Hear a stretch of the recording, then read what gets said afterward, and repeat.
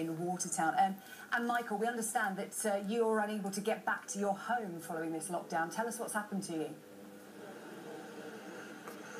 Yeah, we were traveling back to get to the house uh, from Logan International, picking up this little guy here. He's eight weeks old, Alaskan Malamute, for my daughter. My daughter's with me here somewhere. And uh, on the way back home, uh, we were just in the middle of everything.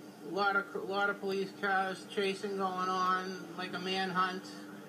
And uh, just kind of followed me from Boston International Logan right to my doorstep over on uh, Spruce Street in Watertown. We got to our street about four hours away, and we told we were told to find a uh, another place to sleep for the night. Uh, at that point, we uh, managed back here for another attempt, and then everybody showed up, all the media. This has My, caught you uh, completely unaware. So, oh, uh, we can see that this has caught you completely unaware. As you, we say that this has caught you completely unaware. Obviously, we can see that you've been to pick up your puppy. What are police saying to you about what's going on? Are they giving you much information? Well, they said that uh, my street was like right in the middle of things. That uh, no one in, no one out.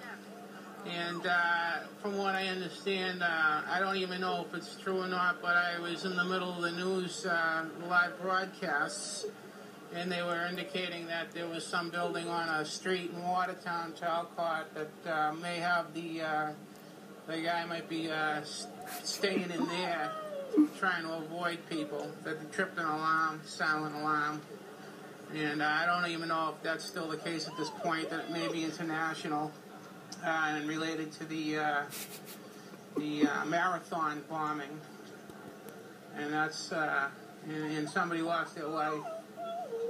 An officer lost their life. Totally uh, chaos.